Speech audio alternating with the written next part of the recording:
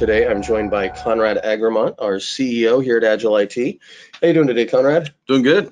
Um, So as always, going to go over a little bit of news first as we get started. Um, COVID-19, the coronavirus, it's been all over the news. Um, last week during the Tech Talk, I mentioned that the CDC had come out with emergency guidance um, saying that all businesses should have a remote work plan as part of their um, business continuity plan in response to COVID-19.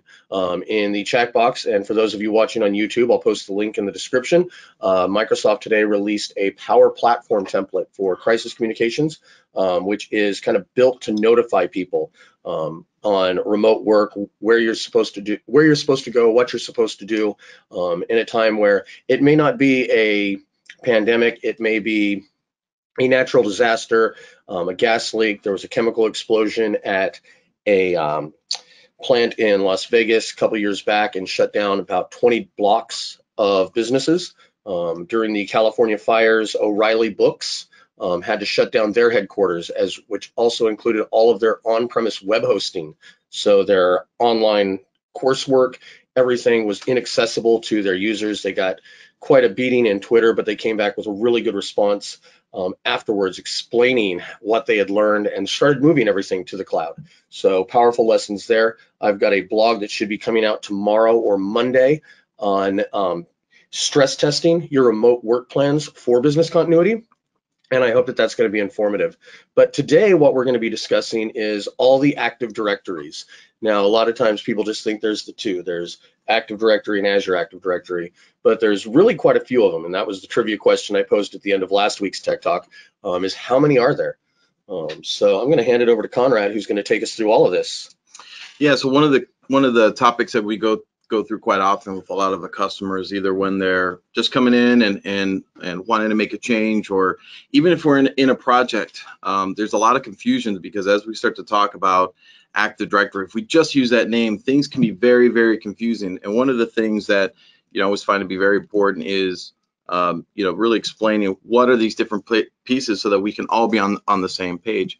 So, um, I'm sorry. So one of the first things that we really want to cover is understanding the different levels of responsibilities because this makes a very big impact on you know when you look at these different Active Directories and whether it's something I have to fully manage myself, something that's managed as a service, uh, and something that just may run on something. So for example, when we're talking about on-prem, we're really saying that in your environment, you're really responsible for everything, the storage, the networking, the pipe, the air conditioning, make sure that the, uh, you know, that the surge protector to your servers isn't connected to the light switch. These little problems all the time, you know, you want to make sure that they're covered, but you're fully responsible to that for that. When you go to IaaS or infrastructure as a service, this is really, really where you know, from let's say from the Microsoft perspective, because we are 100% uh, Microsoft Cloud focused, uh, you know, this is a place where Microsoft is handling all those power virtualization platform pieces, but it really just gives you a virtual machine for you to do anything that you need on top of there, as an example.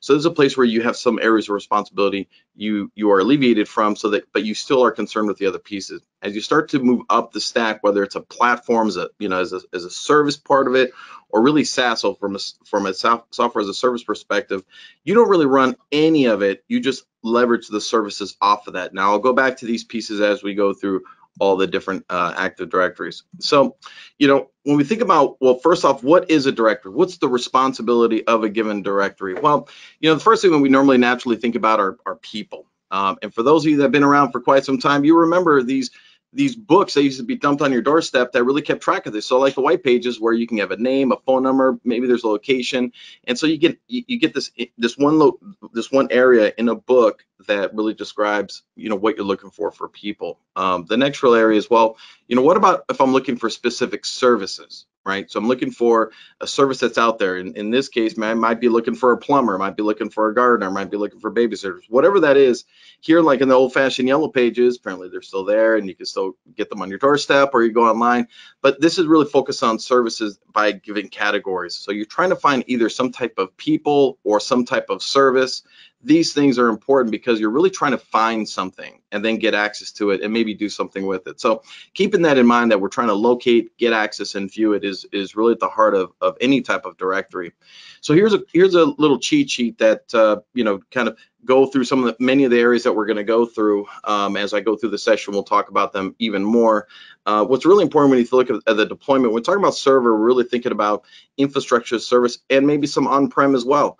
So, um, you know, and again, going back to that area responsibility, things that you must do. Now, when we look at these different direct active directories, now when we say all the active directories, you're looking at the name, and it's because what you're really thinking about are again those people and those services that you're trying to get access to, but they really function in different areas, and I'll walk through this, and, and I'll show this again uh, really at the end. So when you think about you know the directors here, really where our focus is really around the identity. Now these this identity, this view of like let's say uh, Sean for example Sean Spicer, his the representation of who Sean Spicer is may be located in lots of different areas, including Active Directory, local Active Directory, or an Azure Active Directory, or through some of these other services. But as far as I know, there's only one Sean Spicer that I know here. Now that name's used by lots of people, but the actual Sean Spicer I have here, I'm the real Sean Spicer. Physically next to me, there's really just one view of him, and then there's these concepts and these these these views of him uh, all around. But really, we want to bind them to one uh, uh kind of coordinated view of this identity. So, you know, the first place we like to start is local Active Directory. So what's really important for us is when we start talking to customers that we really like to use the name local Active Directory. Some people use classic, some just say Active Directory, but we like to we like to use local Active Directory, and we're really talking about the traditional uh, Active Directory that was a part of Windows Server. Been around for years. Really, this is what you had to do when you're running a enterprise or small business. So this way, you didn't have you could you could have one username and password that, that you can log onto the desktop, have the same type of access into a server, same type of access to an application. So it was, a, it was that central point in the beginning of, of having this, this identity of who you are. Um, and again, it was a fundamental part of what you had to do, and many, many organizations still have that. However, when we're just starting out with new new deployments, we actually try to get away from from this if if we don't really really need it for whatever reason that might be. So really, the next part is is looking at well, what does this look like? So this is kind of a standard view of local Active Directory. Um, you know, it's it's deployed here in this particular view at the customer's premise, so it's kind of on-prem uh, in your environment that you're plugged into. And this is where you get access to whatever services that you might that you might need. Now, for those of you that, that have done some level of administration, you'll recognize this. Now, one thing to point out in here is that, you know, you're that there's this hierarchical view, and I have a whole session that, that we'll do some other time about this, but you'll notice that there is this kind of common hierarchy. Yours probably looks very similar or you know very deep with lots of different names. A lot of times these these these local active directory instances you start off in a good way but over the years over time over administrators they start to get you know very uh, uh nested. Lots of different names the naming structures change. It's very hard to kind of keep up to date something we find to be very very common. So Again, this is a local Active Directory, very traditional, built on Windows Server. They have, many organizations have it, their workstations connect into it, they have people connect into it. This is the this is the local Active Directory. Now, next up is really Azure Active Directory. Same kind of name, there's a clear difference. Where Azure Active Directory is still trying to provide services to, to find users and, and, other services. The difference here is that it is managed as a cloud service. So this is something where Microsoft is managing it. Think about that, the areas of responsibility. You know, this is more of a SaaS-based type of service. Now, in this SaaS-based type of service, you know, again, we're trying to create this connectivity of representing who the user is, but we also need some way of connecting those users who are in Azure Active Directory with your local Active Directory that, that's on-prem. So this hybrid scenario is available, something called Azure AD Connect, which I'll talk about in a little bit. And this was this is what allows you to to extend this user uh, this view of a user who is locally on local Active Directory with Azure Active Directory, but they are not the same thing. Okay. Now, if you have local Active Directory that's deployed in maybe a, some kind of cloud service, whether that was an Azure, AWS, or whatever whatever you might have. If it's running on a virtual machine and you install a Windows Server, that is still a local Active Directory instance. Now, again, you can wire these things up together, and they're great. Now, some of the limitations that right out of the box, just by itself, uh, there's not really a lot of protection, um, you know, beyond some of the username passwords. We always recommend putting something like Microsoft uh, Enterprise Mobility Plus Security, or just really putting what's uh, Azure Active Directory P1, P2, digital licensing, so you can do MFA and conditional access and all this great, great kind of thing in the cloud and even on-prem. But again, Azure Active Directory, not the same as local Active Directory. So, you know, we think about, again, that identity being the, the central piece and, and with Azure Active Directory providing these types of services, you know, one of the things that it gives you, just like I talked about, are these other areas where you can provide better management and extension in terms of protecting and controlling where people get access, you know, should they use multi-factor. Um, again, these are the additional services that Azure Active Directory provides. Local Active Directory can do some of those things with lots and lots of other third-party tools, and then you have to keep them up to date and the servers. It's really a pain. Um, however, again, these areas are intended to work with one another. So when we synchronize them, now we can have a representation again of Sean Spicer, who is locally on prem in, uh, on premise with a local Active Directory, synchronizing with Azure Active Directory. Can't say it enough. It is still very separate. But now that you have this, Sean Spicer can now, with the same username and password, log into these other services that are in the cloud, like Office 365, as well as um, Salesforce and lots of other applications that are out there that, that support this. So, you know, having this also allows me to control things like access to, to, to devices through the cloud, uh, access to other types of providers for authentication services. So Azure Active Directory provides all this other value-added services, uh, you know, that, that's a part of the platform and you get access to that by synchronizing with your local Active Directory. Remember, the local Active Directory had had had its place, sometimes has its good place, but it doesn't do all these other services that that that you want. Now, one that I'm really not going to talk in depth about, but this kind of single sign-on capability for these other providers was also provided with the window with the Windows Server feature called uh, Active Directory Federation Services. But there, you also have to be managed the server infrastructure, load balancer, uh, ADFS proxy proxy servers, and there it just didn't have the same level of capability and extensibility that you would have with Azure Active Directory. So it's really the, the approach that we go is is start there. Even if you're not doing any other cloud capabilities, leveraging Azure Active Directory with your local on-prem would be the route to go. If you have ADFS, we really should talk about scratching that thing and, and just using Azure Active Directory um, from the start. So, you know, talk a little bit about this connectivity. So you know, when you have Windows Server, you know, and you have this local Active Directory using Azure AD Connect, so it's a it's a process that runs uh, near one of your domain controllers, and this is what allows you to really kind of connect the two together. So there's some connection between understanding who Sean is in local Active Directory and who Sean is in Azure Active Directory. Uh, they're not the same again, but they are synchronized with one another, and that's why Sean can log onto his desktop, use local Active Directory, access other cloud services that are connected to uh, through Azure Active Directory. So this pro provides this kind of seamless single sign-on that that's a part of it. Oftentimes Microsoft also calls this modern authentication. So that's that's pretty cool. So again, same view of where we started before, where we had this local Active Directory infrastructure using Azure Active Directory Connect to connect up to Azure Active Directory. So again, they're separate, but they can they can work with one another. Now, once we look at those users who we had on local local Active Directory on premise, um, we can see all those same basic users. However, now they're on a very flat type of uh, type of view. They no longer are in a hierarchical kind of view. So it's very important to know that once you start to move to these cloud services, that you're really moving towards a, a flat area, but you're associating them with one another. So this connectivity between Azure AD Connect um, is great. However, there are other ways in order to connect them. Uh, one thing that's that was uh, newly released is something called Azure AD Connect Cloud Provisioning. It is something that can work with Azure AD Connect, so you can have one of those around. But sometimes you may want to connect other uh, directories um, that are in different forests.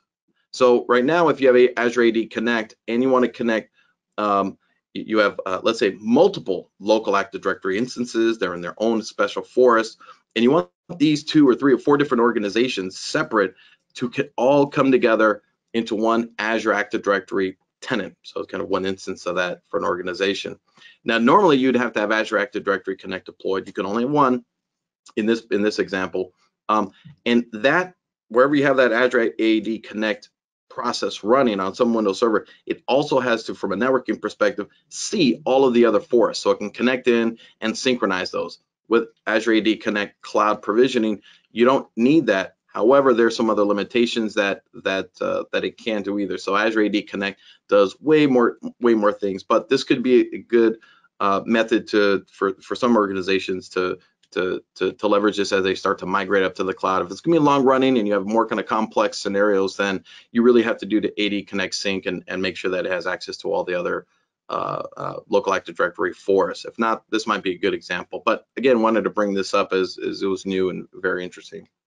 Now, another another thing that's out there is it's called Azure Active Directory Domain Services. Now, we're getting into the long names. Um, now, this one essentially is a local Active Directory, fully compatible with what Windows Server Active Directory does with some limitations. So uh, the whole point of this is um, when you are moving more towards a cloud world, and let's say you have more of your identities that are in Azure Active Directory, or maybe you, you don't even have a local Active Directory at all, you start it all in the cloud, you can leverage Azure Active Directory domain services to essentially provide uh, the local Active Directory capabilities without have to actually deploy a domain controller. So this is more of a, of a SaaS type of capability for a local Active Directory, but it works in a very different way. The best target for this are really other Windows servers. So if you have a uh, a web-based application, whether you develop it yourself or it's a third party and it has to run in a Windows Server environment, and it has to have a local Active Directory. This could be a really good middle ground without having to say, oh goodness, I have to start now start having a local Active Directory. However, um, uh, and again, you, can have uh, uh, uh, this deployed as a service, add in those additional servers, you can still manage it like you normally did with users and computers. I'll show that in a little bit, uh, but the structure is a little bit different. And this is not ideal, not recommended, shouldn't be used with your workstations. Uh, there are some limitations around that.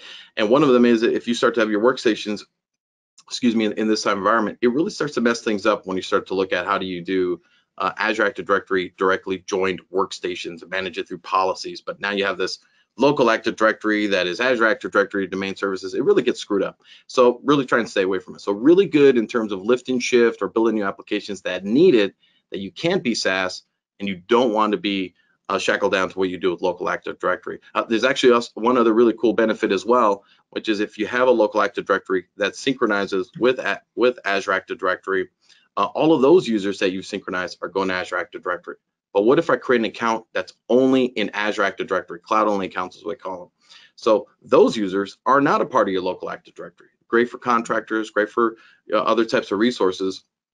Well, when Azure Active Directory domain services uh, comes alive, it actually has a, a, copy of its users list of everything that you put that synchronized with local Active Directory as well as Azure Active Directory all combined together. So now you can create a cloud account that is now uh, uh, visible in this Azure Active Directory domain services. So again, here kind of representing that you have these three or four components, local Active Directory, Azure AD Connect synchronizing into Azure Active Directory services, and Azure Active Directory domain services uh, is provided as a service so that you can do these areas. So one of the reasons why we want to do these sessions is wow, this can be very confusing. There's a lot of these pieces, but hopefully, you know, this kind of explains how these areas are being synchronized.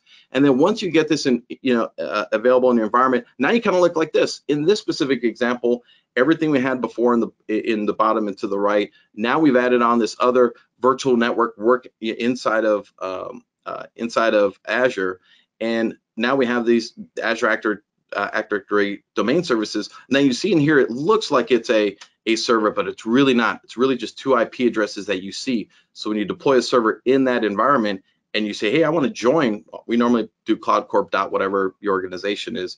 When we join that, it'll it'll see the domain controller, it'll join it, um, and that's actually normally where you start to put AD users and computers, so you can actually see what's going on.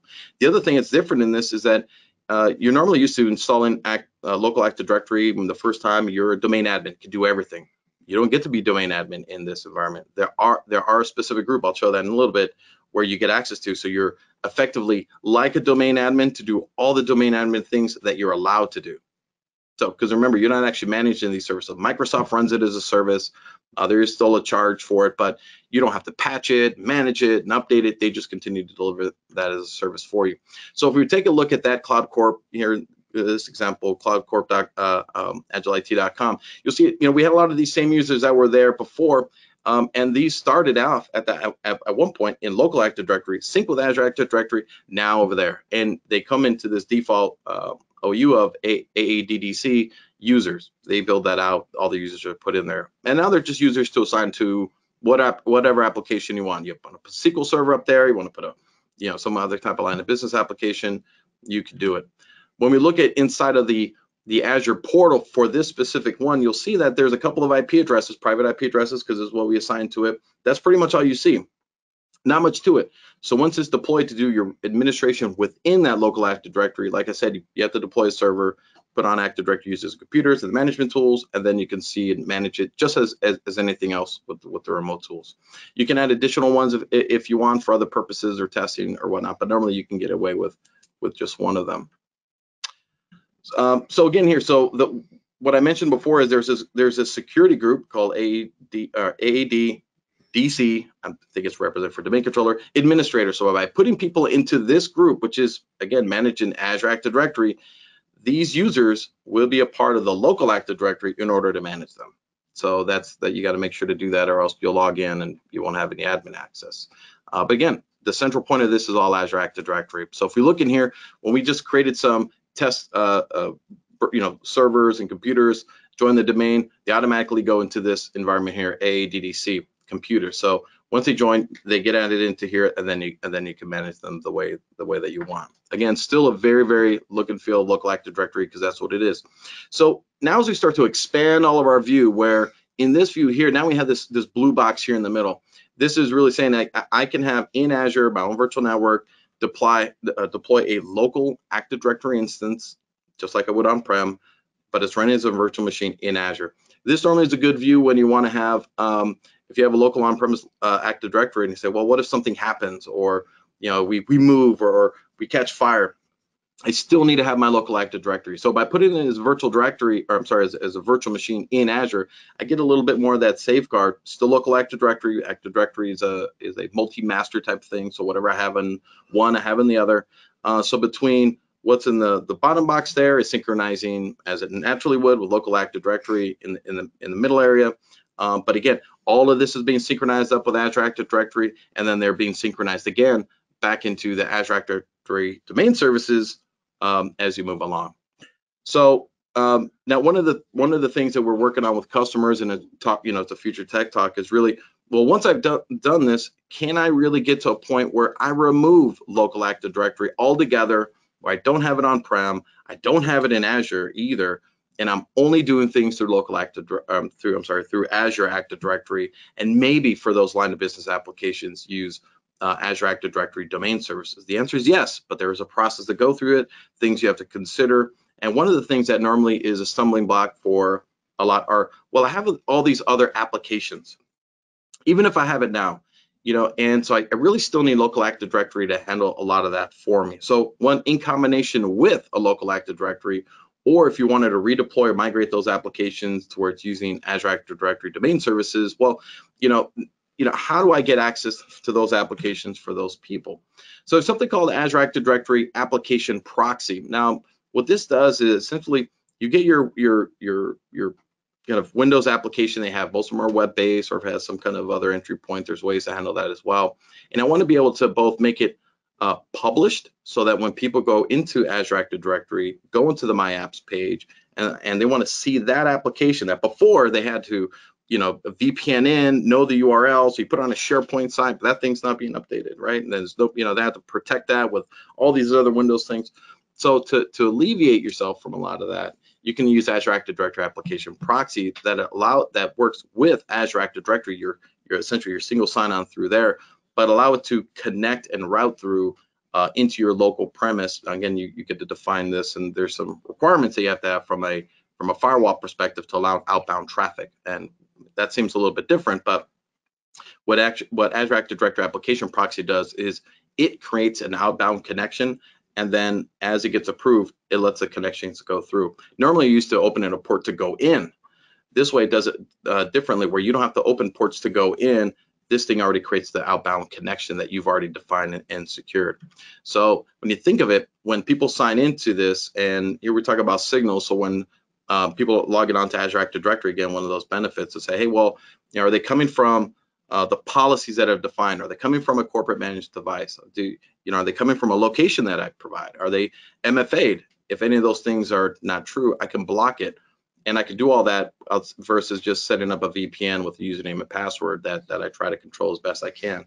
So this is still doing it very web-based, still allows you to put all the policies. And when they do get access, that they can see those applications and then going through it through the uh, through through a, a connector. So this is something you would install on um, you know near your your your applications, whether it was in Azure using Azure Active Directory domain services, or is even running as Azure as an infrastructure, or it was running in on-prem, you could do it any one of these combinations, um, and you can get access to these applications. And the Azure AD uh, application proxy, working in conjunction with Azure Active Directory, handles a lot of the the, the, the, the, mappings as well as handling Kerberos tickets and TLM and those sorts of things. So very interesting to, to, to start to use.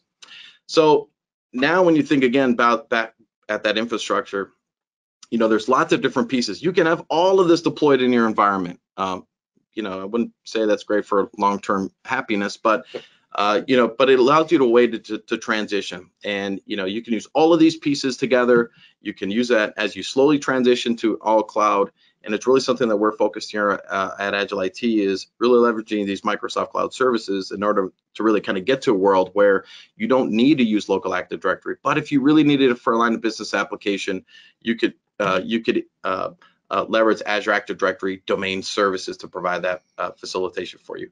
If you have a local Active Directory, you can synchronize those users and groups, um, you know, into Azure Active Directory. Again, they're separate, but they allow you to connect. But over time, if you get rid of your local Active Directory, I get rid of domain controllers, I get rid of um, uh, the, the, the, connecting service, um, and now it gives me uh, a much better, more modern way to do things um, uh, inside of the cloud. You know, the next extension, uh, once you have that as well as for a lot of customers, you know, who are bound by certain types of uh, regulatory compliance, the nice thing here when you use less of the local Active Directory and more of the services-based side of it is that Microsoft is certifying up to that level. So if you have, if you're doing uh, compliance and, and you have to get through an audit and regulation, well, you have to manage, do policies, SOPs, and stay up to date with the latest version all the time. And it's really not where people want to put their time in. So normally, you know, by freeing yourself of, of that, you put that responsibility, right? This goes to the SaaS part of it on Microsoft. They pay for those audits. You know, they can give you uh, uh, the the audit report to give to your auditor and you don't have to do that work. So it's a bit of a trade-off, but it's, it's much needed. So hopefully in, in my little cheat sheet here, that gives you an example of all these different local Active Directories, how they're used together. Um, and so it's just kind of a good primer. So when we talk in the next sessions about getting rid of local Active Directory, we've already gone through these topics. So I really don't need to explain it again. Um, you can always go back and enjoy for your you know weekly viewing.